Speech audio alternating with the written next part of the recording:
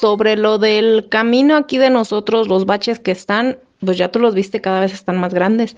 Eh, no han, no nos han venido a bachear.